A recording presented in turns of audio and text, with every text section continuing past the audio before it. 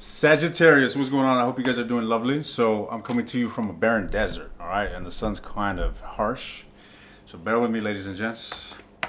Bear with me. Interestingly, that. Look at the light effect. I don't know why he's doing that. It doesn't flicker like that in my eyes. Strange.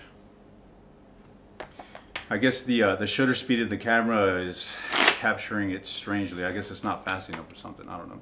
But anyways, I hope you guys are doing lovely. This is gonna be a first half of the month reading. I want to see what's going on with you guys in the first half of October. All right, let's see what's going on with Sagittarians. The first half of October. Let's get three more shuffles and get a general energy of what is going on. Oh shit. Ladies and gents, it looks like my room service just got here. Bloody hell. this shit always happens. All right. One second. Yes. Thank you.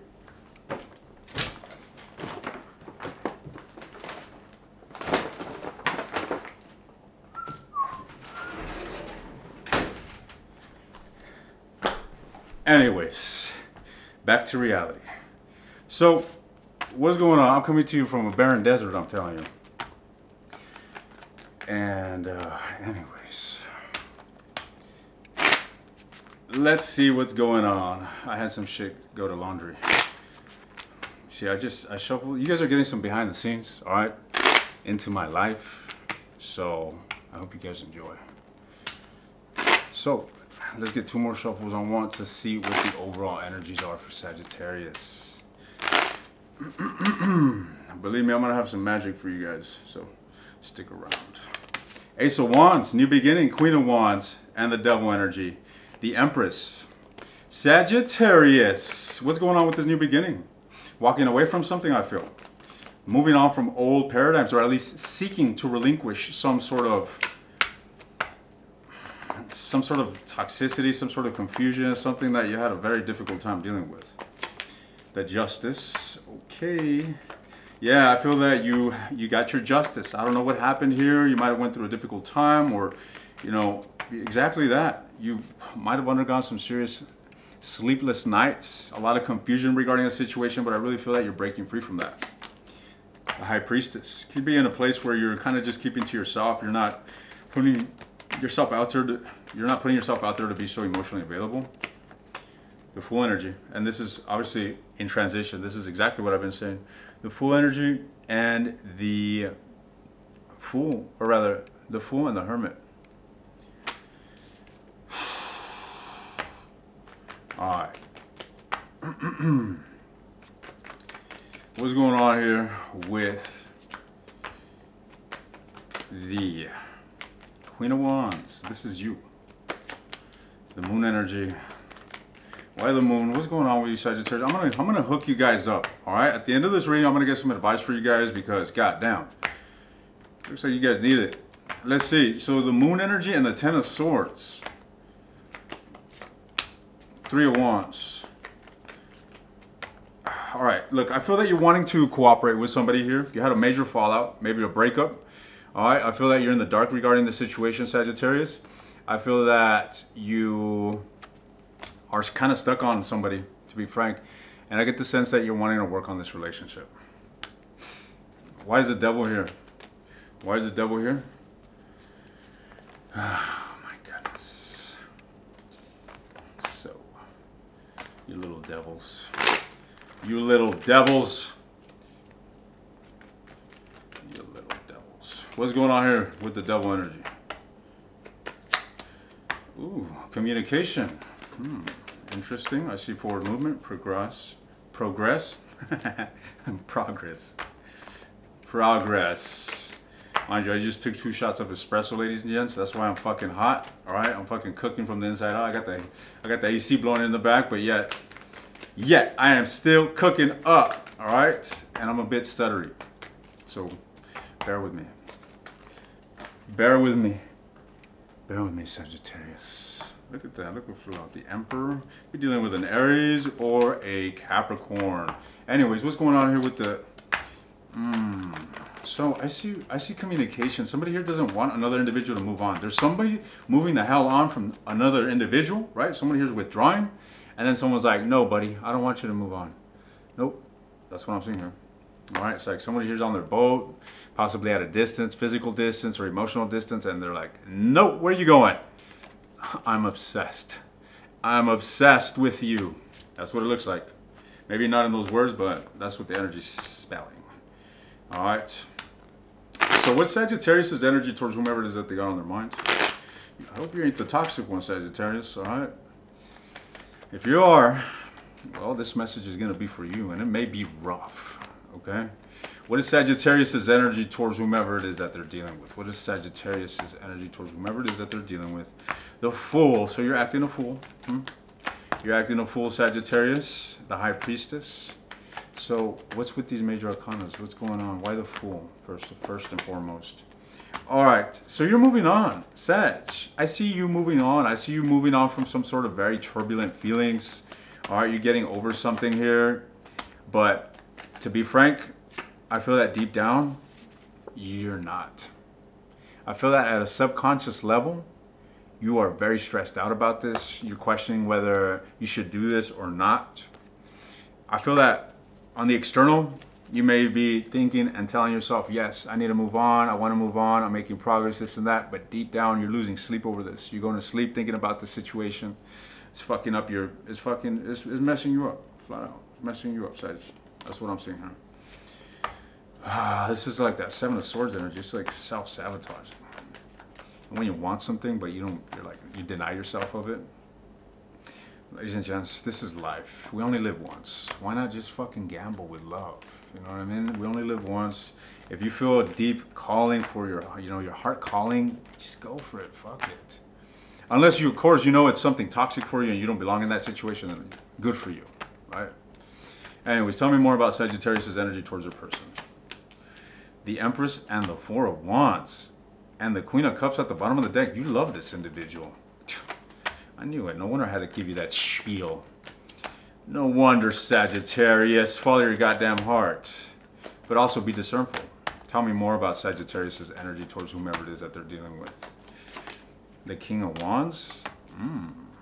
Either you find them very attractive, you see them as somebody that is just very confident, exudes an element of charisma that's irresistible, possibly has the tongue of a fallen angel, the seduction of a fallen angel. Somebody here that you have an attraction towards that you cannot deny. King and Queen of Wands. This is a power couple dynamic. They could be another fire sign like yourself, all right? And if not, this is just simply an explosive magnetic energy that you just cannot deny yourself of. That is what I'm seeing your energy being towards this individual. Now, this individual may feel the same, considering we have the King and Queen of Wands. Okay. Let's see. Let's see. I gotta work on my posture, ladies and gents. All this fucking hunchback from Notre Dame is fucking up my back. Anyways, I don't want to hear your advice on get a chair or they would just keep it. All right. I know I like chairs. I like to use chairs, but I'm not using one right now. So go figure.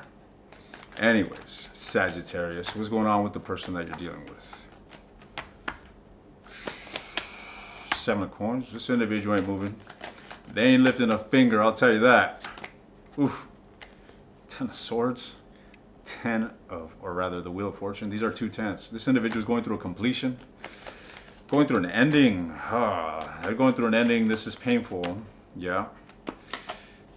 Fuck they're having a hard time with this ending with the devil energy. All right, this is something that they cannot let go. They cannot let you go. This individual cannot let you go. Why? Because they got love for you. All right, that's why. Oh Lord, talk about that toxic type of love, ladies and gents.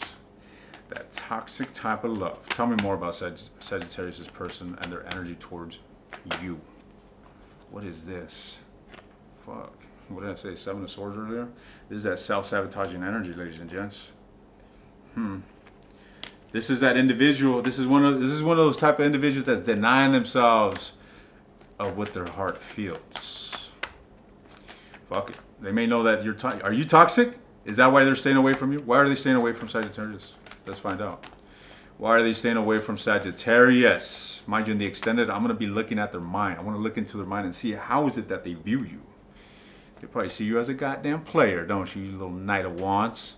Unreliable, and untrustworthy. Playboy, playgirl.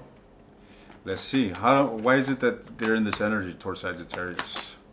Fuck the Two of Cups. I'm, well, I'm not getting any negative thing. I'm, I'm simply getting the fact that they're like this because they actually love you. That's why they're so fucked up and bent out of shape right now.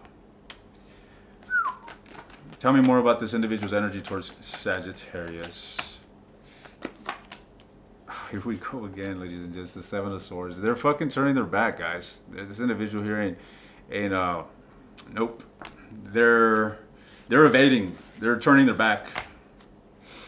this individual is, even though they love you, they're, they're not going towards you. All right, I'll tell you that. I'll tell you that much. In the extended, I'm going to be looking into their feelings. I'm going to be looking into their mind. I'm going to be looking into their actions during these next two weeks. I'm also going to be looking at the future of this situation. All right. But before we go there, I'm going to deliver you this words of wisdom, this advice, whatever message wants to come forward, which I promised you. What's going on? Any words of wisdom for Sagittarians that are resonating with this Two of Wands. Time to make a choice there, buddy. You got to make a choice. Pick a path. What are you going to do? What are you going to do? Enough thinking. All right, enough thinking there, buddy. Make a choice. That's it. I don't know what the what this is about. Don't ask me. You know what this is about, not me. But it's saying make a goddamn choice. Let me just take a look at a little deeper look for my own curiosity. All right, I'll probably turn off the camera I'll, I'll exclude this. What's going on? What, what is this choice here? The Wheel of Fortune. Some sort of choice about turning a situation around. Is it for them or is it for the relationship? Is it for them or the relationship? Okay, Nine of Wands. Give me another. Give me another card. Mm -hmm, the Sun. All right, look. It does, it goes both ways. It goes both ways. This is what I'm seeing here. Some of you guys are inclined to turning the situation around between you and this individual. Wheel of Fortune, or rather, the Wheel of Fortune and the Ace of Wands. All right. With that said, Sagittarius, some of you need to make a choice. Maybe towards this relationship or maybe not. Maybe towards your own personal happiness. All right. But one thing is certain, you are definitely in a wounded state in which you need to make some sort of decision for the sake of unstucking yourself, getting yourself out of the state where you're just not moving forward. Why? Because you're hindering yourself from your ultimate potential. You're hindering yourself from your greater self. So make a choice, ladies and gents. Make a choice. It's time to make a choice during this month. All right. Mind you, you're getting this reading on the 2nd of October. This is a new moon It's perfect time to banish things, okay? You don't have to get into no rituals or anything. Just, you can simply align with the universal forces and say, all right, I'm going to be intentional and I'm going to, mind you, that whole ritual of writing something down that you want to get rid of and burning it under the, the new moon is not necessarily, the magic's not there. The magic is you intentionally aligning with what it is that you're doing and the psychological impact that it has. You putting that effort, you using the universal forces to align. And the more you're adding to this ritual, is having a greater impact on your psyche. And that's what's facilitating. That's why occult science is so powerful. Not because of hocus pocus or magic and energy. Yes, sure.